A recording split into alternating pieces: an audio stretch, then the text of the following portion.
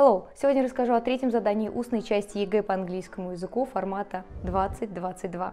Поехали! Начнем с того, что было раньше, то есть до 22 года. В третьем задании устной части нам предлагалось описать одну из фотографий, которые есть у нас в альбоме. То есть теоретически на данных фотографиях мы видели своих родственников, друзей, именно о них нам нужно было рассказать. Конечно же, мы придумывали эту историю, и главное, необходимо было составить рассказ по определенному плану. Великолепный план, Уолтер. Надежный, как швейцарские часы. То есть описание картинки мы составляли не от себя, а по строгому плану. В общем-то, как и всегда в экзаменах. Казалось бы, задание достаточно интересное. Но к чему все сводилось?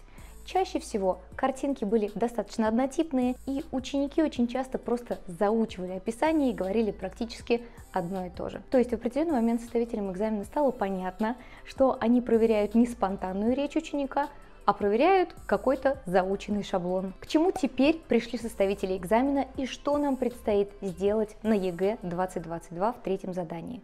Посмотрите, пожалуйста, как выглядит задание нового формата. Перед вами интервью, а именно 5 вопросов, на которые вам необходимо будет дать ответ в двух-трех предложениях. Те, кто уже сдавал ОГЭ по английскому языку в девятом классе, могут заметить некоторое сходство с тем заданием, которое они уже выполняли. Да, действительно, данное задание взято из формата ОГЭ. Так же, как и в ОГЭ вы отвечали на заданные вопросы, в ЕГЭ будет тот же самый формат, но есть определенные особенности. Что важно, на каждый вопрос вы отвечаете в двух-трех предложениях, не меньше.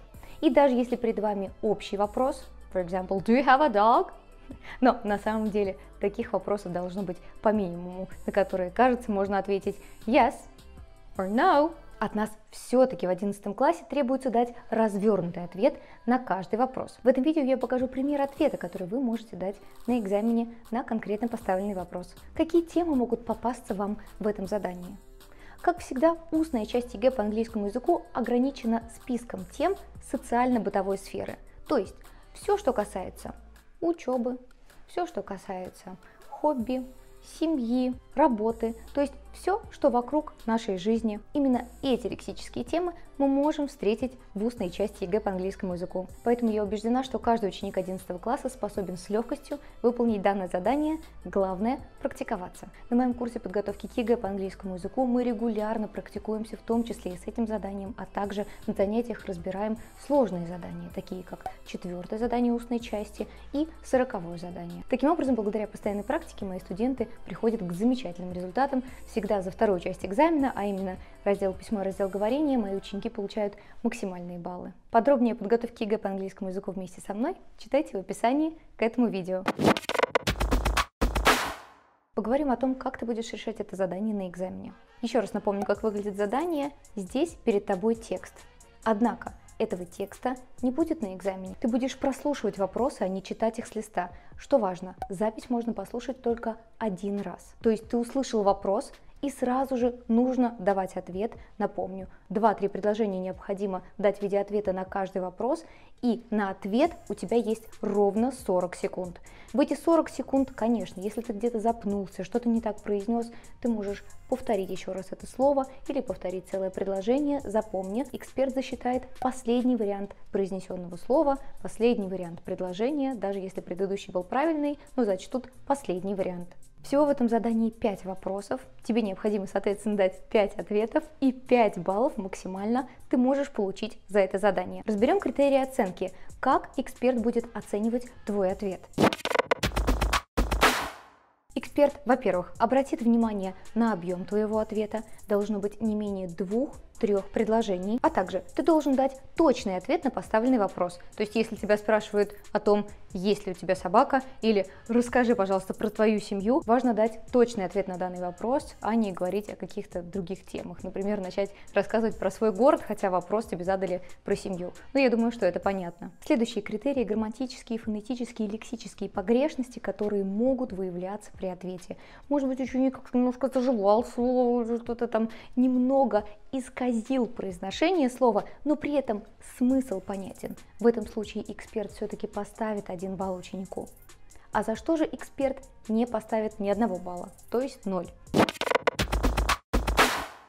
Первую очередь, если объем ответа не соответствует требованиям, то есть вы дали какой-то однозложный ответ, да, нет, или просто одним предложением ответили. Данный ответ не будет засчитан. Кроме того, если вы ответили не по теме, как я уже приводила пример с семьей, и начали рассказывать о чем-то другом, данный ответ также будет оценен экспертом в 0 баллов. И еще важный момент – фонетические, лексические и грамматические погрешности, которые мешают восприятию ответа. То есть, то есть те ошибки, которые вы допустили, например, меняют значение слова, грамматическая конструкция неверная и искажает смысл. В данном случае эксперт будет вынужден поставить 0 баллов за ваш ответ. Ну что, попробуем попрактиковаться, и я предлагаю вам лично, самостоятельно ставить на стоп видео и продумать, а какой бы ответ вы дали – и далее, после этих вопросов, я дам возможный вариант ответа на каждый вопрос. Таким образом, данное видео будет максимально полезным и будет носить в себе не только теоретическую, но и практическую информацию для вас. Это вариант задания из демо-версии ЕГЭ 2022. Посмотрите, пожалуйста. А теперь забудьте все, что вы видели. Сейчас я буду сама лично произносить эти вопросы. Предлагаю вам воспринять вопросы на слух – без возможности увидеть текст. А еще лучше включайте диктофон, засекайте 40 секунд и попробуйте наговорить ответ. И еще один очень важный комментарий перед тем, как мы начнем выполнять задание. В реплике могут прозвучать два вопроса, но не нужно отвечать на каждый из них по отдельности.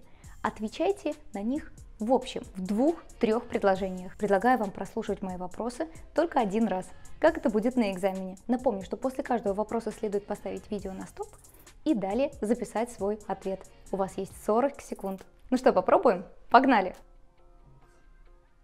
What part of Russia do you live in? What's the weather like in summer there? What else would you like our listeners to know about your region? What can you tell us about your family? How did you spend your summer holidays when you were seven? How would you like to spend your holidays in 10 years? Ну что, дорогие студенты, всех поздравляю, вы молодцы, вы справились с заданием. И теперь я предлагаю вам посмотреть возможные варианты ответа на каждый вопрос. Смотрите сюда. Это ответ на первый вопрос. Можете также поставить на стоп и внимательно прочитать ответ. Это лишь возможный вариант того, что вы могли бы сказать. Конечно, вы можете сказать что-то другое. Ответ на второй вопрос. Ответ на третий вопрос. Ответ на четвертый вопрос – и ответ на пятый вопрос. Очень хочется знать вашу реакцию на данное задание. Напишите, пожалуйста, в комментариях, что думаете. Стало ли задание сложнее, чем в предыдущие годы? Или вам кажется это задание максимально адекватным и нормальным? И, кстати, еще одной сложностью на данный момент является то, что озвученных заданий просто нет. Поэтому на своем курсе я сама лично озвучиваю эти вопросы и имитирую интервью. Мне хотелось бы поделиться этими материалами с вами и дать возможность вам также попрактиковаться с этим заданием. Проходите по ссылке в мой инстаграм, подписывайтесь на мой аккаунт, ищите пост проговорение 3, в комментариях нужно написать слово «практика», и я с радостью в директ вышлю вам озвучку третьего задания устной части формата 2022, чтобы вы могли попрактиковаться и получить заветные 5 баллов за это задание. Ставьте лайк этому видео, подписывайтесь на мой канал, я регулярно публикую полезный контент, который помогает вам готовиться к ЕГЭ на максимальные баллы. Всем 100 баллов за ЕГЭ, ребят! Пока!